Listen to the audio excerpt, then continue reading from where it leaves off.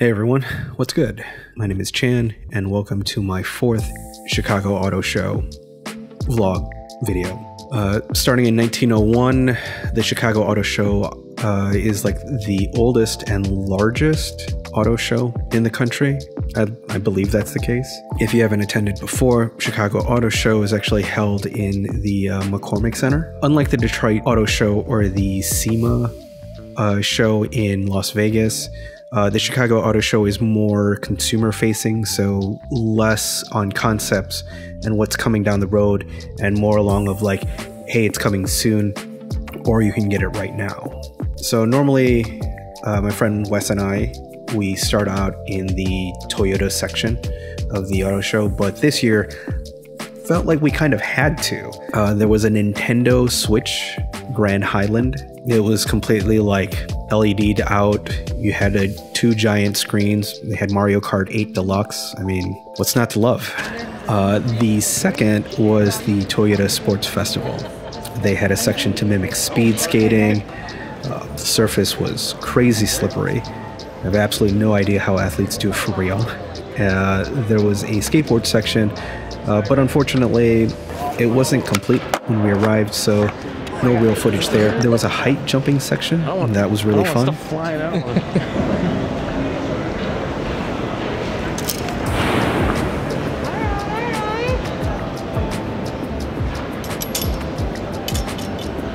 You didn't need to fix that set.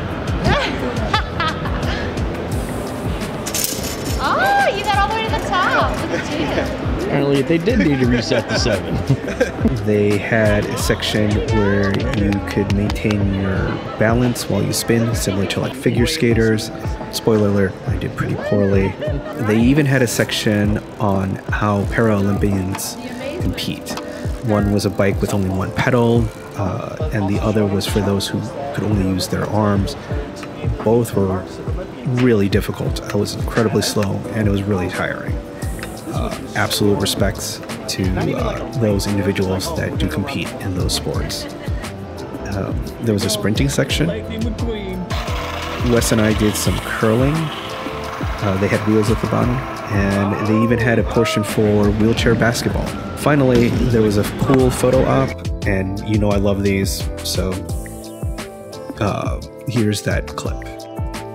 And at the end of that, we got this awesome medal uh, and I will cherish it forever. now that we're through the um, the not vehicle portion of this, like let's get into like the uh, the next session we visited, which was like the Ford section. Uh, the car that I was most excited to see was the Ford Mustang Dark Horse. It's been some time since Ford made a performance series uh, vehicle. The last one was the Mustang Bullitt in 2001. Looks gorgeous, color's great, yeah, it's a, it's a good looking car. The next stop was checking out the Ford F 150 Lightning. Now, the F 150 has been the best selling truck in the US for 46 years, 45, 46, and it's been the best selling vehicle in the US for 41 years. So it's it's been dominant for a long, long time. Uh, having to carry the name, you know, the F 150 Lightning uh, I don't think is quite ready for prime time.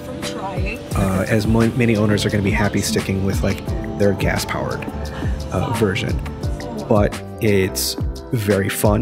There's a lot of cool, like neat aspects to it, and of course the uh, the torque on an electric vehicle. One of the few times I've thought about picking up a pickup truck. Four, three, two, one.